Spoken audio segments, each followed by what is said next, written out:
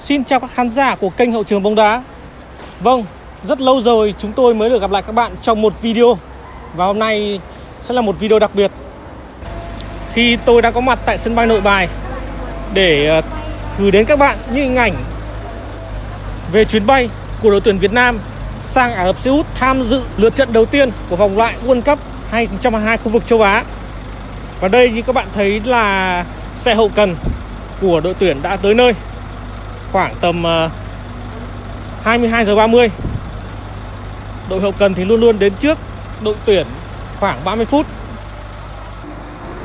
Vâng như thường lệ thì mỗi chuyến thi đấu của đội tuyển Việt Nam luôn rất nhiều hành lý từ dụng cụ cá nhân, dụng cụ ờ, tập luyện cho đến ờ, những đồ dùng thiết yếu của ban luyện và các thành viên. Và đến khoảng tầm 23 giờ, xe của liên đoàn chở các thành viên đội tuyển Việt Nam đã có mặt tại sân bay nội bài. Các bạn có thể thấy là các gương mặt rất là quen thuộc với chúng ta.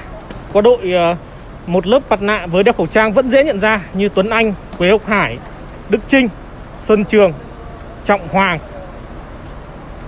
Tiến Linh. Đó. Ra thì còn có thêm những tân binh như là tiền vệ Lê Tiến Anh hay tiền đạo Tuấn Hải. Ngoài các thành viên của ban luyện thì ờ, ở trận đấu sắp tới huấn luyện viên Park Hang-seo sẽ mang 25 cầu thủ. Đây phần lớn đều là những cầu thủ đã từng gắn bó với ông qua rất nhiều các giải đấu thành công trong thời gian vừa qua. Ngoài lề một chút thì chuyến bay của đội tuyển Việt Nam sẽ chia làm hai chặng. Chặng đầu tiên xuất phát vào lúc 1 giờ 50 sáng ngày 28 tháng 8 từ Hà Nội đi Doha, Qatar.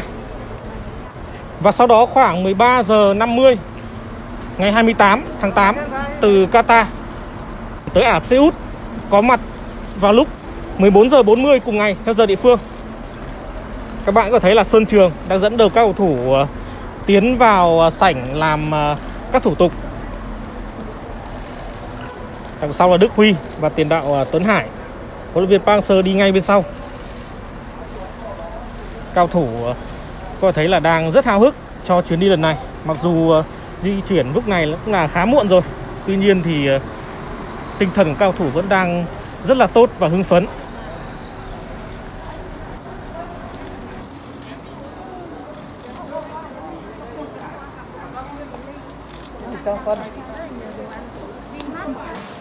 Vì đây là chuyến bay thương mại, nên các bạn có thể thấy là các cầu thủ đang nhận được sự quan tâm rất nhiều của những hành khách đi cùng chuyến bay. Và rất nhanh chóng ngay khi đến khu vực à, sảnh ưu tiên cho đội tuyển thầy Park đã yêu cầu ờ, cao thủ nhanh chóng xếp vào hàng ngũ để thực hiện các thủ tục. Sau đó thì thầy Park có tới ờ, bên cạnh chiếc vali của Đức Huy để ờ, kiểm tra đồ ăn vặt của các học trò. Và tiện ừ, sau đó thì thầy cũng một chiếc bánh quy Oreo. Chuyến bay của đội thì 1 giờ 50 mới bay cơ, nên rất có thể đây sẽ là những cái ờ, đồ ăn vặt giúp cho các cầu thủ và huấn luyện viên Park Hang-seo chống đói trong lúc ờ, chờ chuyến bay khởi hành. Các cầu thủ cũng đang ờ, phân chia nhau, mỗi người một tay. Tiến Linh và Đức Huy đang xem xét để chia cho các đồng đội.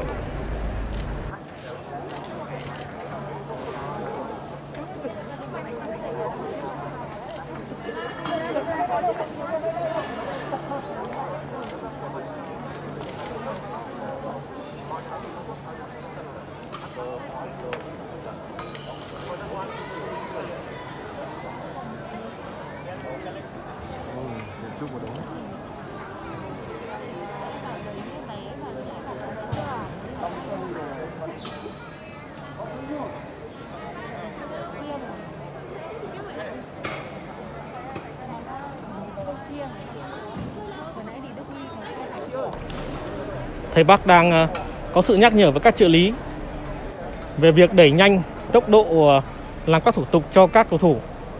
Ưu tiên của chiến lược gia Ngàn Quốc lúc này là các cầu thủ sẽ nhanh chóng và phòng chờ và và được nghỉ ngơi hợp lý trước khi bước lên máy bay. Thầy đang có những trao đổi với anh Nhật Đoàn. Cán bộ của VFF đồng hành với đội tuyển Việt Nam trong chuyến đi lần này. Phía bên này thì các cầu thủ đang trò chuyện vui vẻ với nhau. Trong lúc chờ các thủ tục thì ờ, họ giải khuây bằng những câu chuyện ờ, bên lề có thể thấy đây là trọng hoàng và đội trưởng quế ốc hải. Đây, cận cảnh chiếc bánh ờ, quy của thầy đây. Hôm nay có khá nhiều các phóng viên có mặt tại sân bay nội bài để tiễn đội, nên huấn luyện viên Park Hang-seo cũng tận dụng quãng thời gian để bảo các học trò mau chóng sắp xếp thành một đội hình để cho các phóng viên được à, chụp ảnh một tấm ảnh lưu niệm, một tấm ảnh may mắn trước khi toàn đội à, di chuyển sang Ả Rập Xê Út.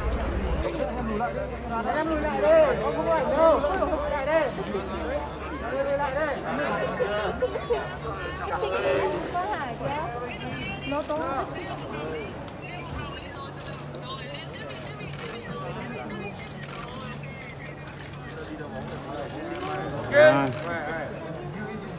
À.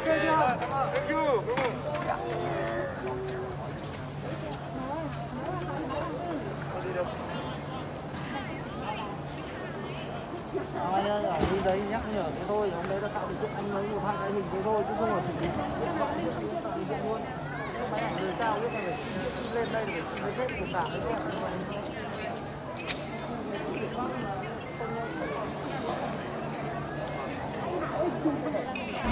Ngay sau đó thì các cầu thủ lại tiếp tục với những hoạt động của mình trong lúc ờ, chờ ban huấn luyện ờ, làm xong các ờ, thủ tục nhập cảnh.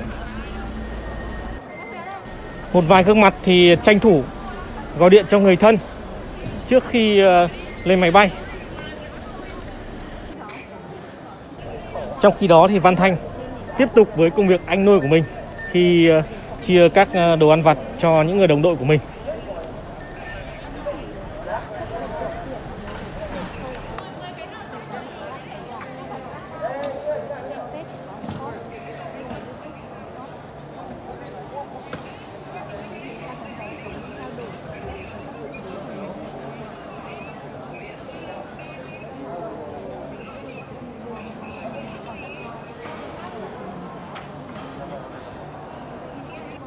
Thành Trung thì ngồi một góc như thế này. Cá nhân mình đoán thì Thành Trung đang ờ, nhắn tin với mẹ mình. Người mà anh có nói là có ảnh hưởng rất lớn tới sự nghiệp của Thành Trung cho đến tận bây giờ. Một góc rất là riêng tư, đúng không ạ? Và bây giờ chúng ta sẽ cùng ờ, giải trí một chút với bộ đôi cầu thủ ờ, Xuân Trường và Hà Đức Trinh. Hà Đức Trinh thì như các bạn đã biết rồi, là một người rất là vui tính và là một cây hài của đội tuyển Việt Nam dưới thời huấn luyện viên Park Hang-seo. Có vẻ như Trinh đang hơi lạnh một chút. Xuân Trường đã lấy áo khoác của mình để che cho Trinh.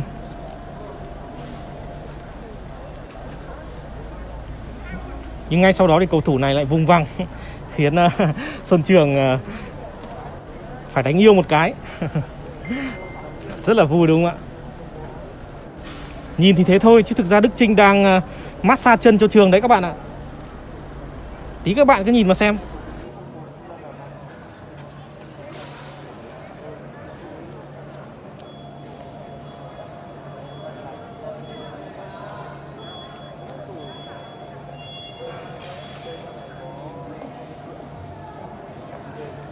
Đó, bây giờ là phần đấm lưng.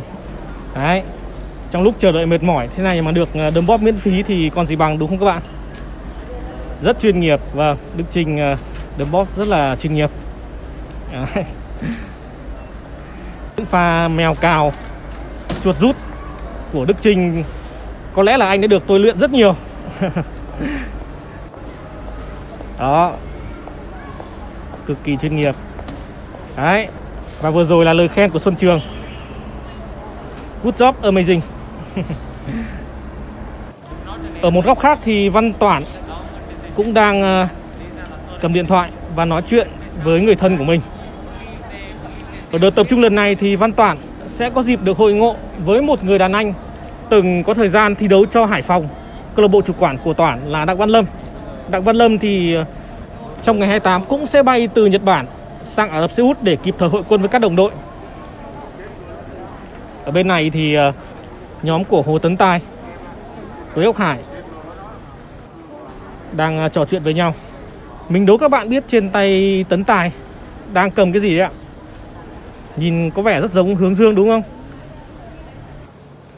Nhưng mà thực ra đó là một túi mít sấy, Một đặc sản của Việt Nam Việc các cầu thủ mang theo những đồ ăn vặt à, đậm chất quê hương cũng là điều rất bình thường thôi Bởi vì à, nhiều khi ẩm thực ở những quốc gia, Những nơi mà đội tuyển Việt Nam sang thi đấu Có khi lại không phù hợp với một số cầu thủ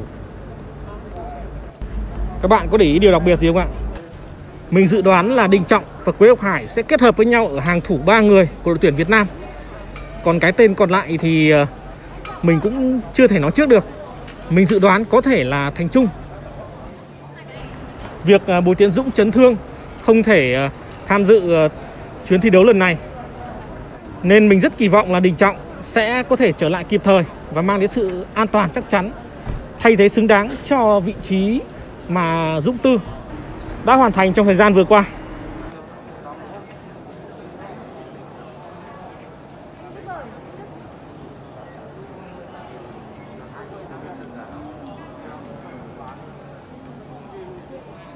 Bây giờ thì các cầu thủ có lẽ cũng đã khá mệt rồi. Tầm này thì đã tầm ờ, hơn 12 giờ đêm. Đã sang ngày 28 và có lẽ là một số gương mặt đã cảm thấy hơi buồn ngủ một chút. Đây cũng là điều dễ hiểu thôi. Đến mình và các phóng viên ờ, đang quay clip này cũng cảm thấy khá là mệt rồi. Tuy nhiên thì ờ, cũng khá lâu rồi bọn mình được tác nghiệp mà một sự kiện của đội tuyển Việt Nam. Nên ờ, phần nào đó cái sự hứng khởi đã giúp cho bọn mình vượt qua được cái những cái mệt mỏi để hoàn thành công việc. Nhóm các cầu thủ hậu vệ đang có những trao đổi riêng tư với nhau. Văn Thành, Tấn Trường, Đình Trọng và Quế Ngọc Hải đây rất có thể sẽ là những cầu thủ đá chính trong trận đấu gặp Ả Rập Xê Út vào ngày 3 tháng 9 tới. Có lẽ là sau khi chứng kiến các cầu thủ ờ, đang ngồi chờ dưới đất quá nhiều, thầy Park đã ra hiệu cho một số cầu thủ ai đã hoàn thành xong thủ tục thì ờ, sớm vào phòng chờ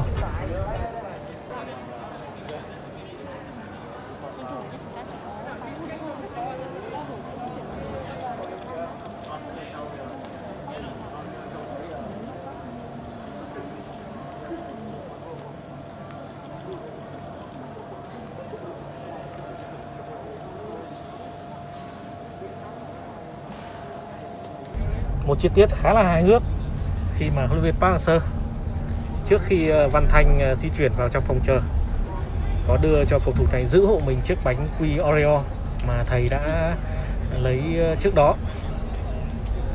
Mà thầy thì đã nhờ thế rồi thì trò làm sao từ chối được, đúng không ạ?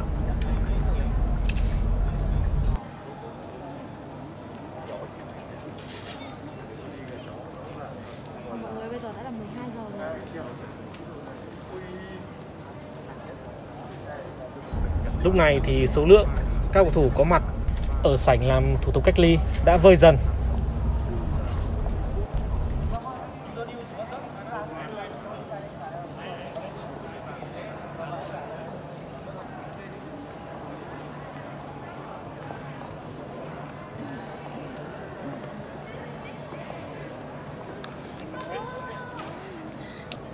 Trong lúc đó thì ờ, viên của chuyến bay ờ, không quên tận dụng cơ hội này để ờ, chụp một bức ảnh kỷ niệm với huấn luyện viên Park Hang-seo. Và mình tin là với những người phi hành đoàn, những thành viên của tổ bay, họ sẽ cảm thấy cực kỳ may mắn khi được ờ, đi cùng đội tuyển Việt Nam và nhất là được chụp ảnh cùng với các cầu thủ mà mình yêu thích. Trong đó có huấn luyện viên ờ, Park Hang-seo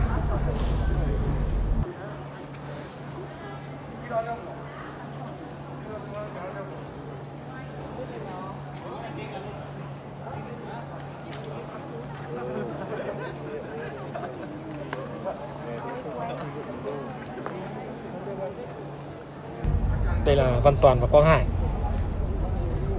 Và đang ngồi ờ, ở một góc. Có lẽ là anh cũng đang nhắn tin để thông báo tình hình với gia đình của mình ở Hải Dương. Văn Toàn và Quang Hải được coi là những niềm hy vọng trên hàng công của đội tuyển Việt Nam ở trận đấu cực kỳ khó khăn với Ả Rập Xê Út tới đây. Hy vọng là bộ đôi này sẽ tỏa sáng để mang về kết quả tốt cho huấn luyện viên ờ, và các cầu thủ đội tuyển Việt Nam. Và đây chính là khu vực mà các cầu thủ di chuyển vào phòng chờ. khi qua cánh cửa này thì ờ, bọn mình không thể tác nghiệp bọn mình chỉ có thể tác nghiệp ở vị trí này thôi những thành viên cuối cùng của đội tuyển Việt Nam cũng đã lần lượt tiến vào ờ, khu vực sảnh chờ thầy Bắc thì nằm ở top cuối cùng đi cùng tốt với Đức Huy, Đình Trọng và Hồng Duy thầy cũng không quên gửi lời chào tạm biệt tới người hâm mộ bóng đá Việt Nam